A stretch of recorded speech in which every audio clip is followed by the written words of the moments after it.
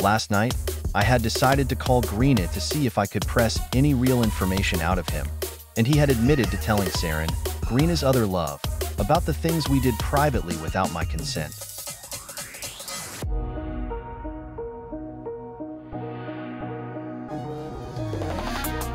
Before and during our cool, he admitted this was basically first time being poly, basically admitting I was merely an experiment to see if he could juggle.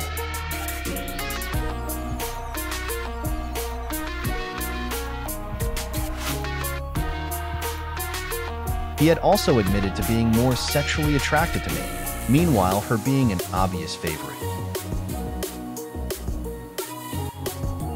They were so adamant on communication, yet kept so many secrets and talked behind my back.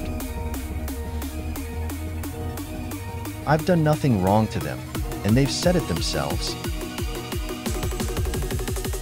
Saren supported him sexually abusing me because she knew what he was doing.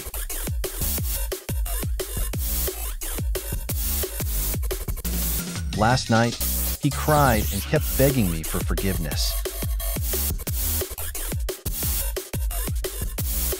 He's a disgusting person who only wished to use my mind against me, even admitting he was more sexually attracted to me than romantically.